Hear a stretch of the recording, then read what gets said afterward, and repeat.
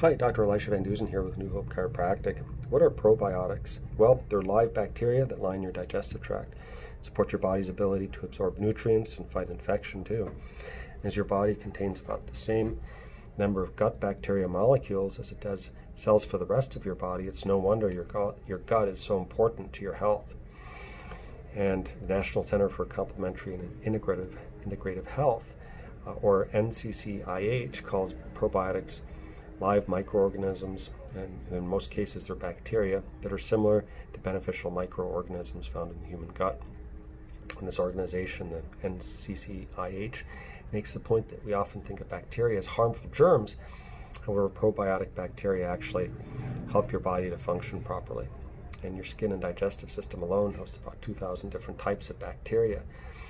And the benefits have been proven effective in supporting immune function, for example, reducing inflammation, promoting healthy digestion, as well as maintaining beautiful skin, especially when combined with prebiotics. And these good gut bacteria are also responsible for producing vitamin B12, butyrate, and vitamin K2. They crowd out bad microbes as well. They create enzymes that destroy harmful bacteria and they also stimulate the secretion of IgA and regulatory T cells, which support immune function.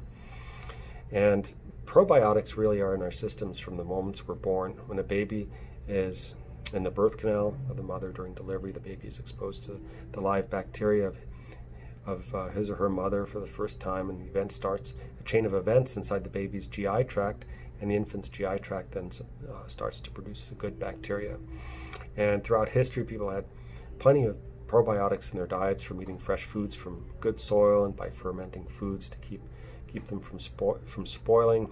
However, today, because of refrigeration and agricultural practices like soaking our foods in chlorine, much of our food contains little to no probiotics, and all in the name of sanitation. Actually, many foods contain dangerous antibiotics that kill off the good bacteria in our bodies. So, probiotics are pretty important. Um, they're pretty important for your health. And if you're a germaphobe, I got news for you. Uh, there's no way of escaping bacteria. They're with your with you whether you like it or not, and they're actually quite important for your your health and your immune health. So.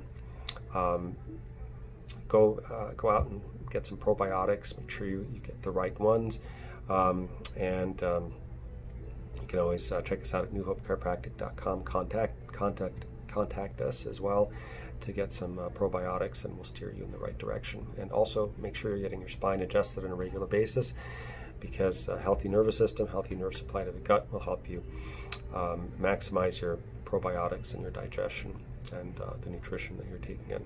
So with that, have a healthy day.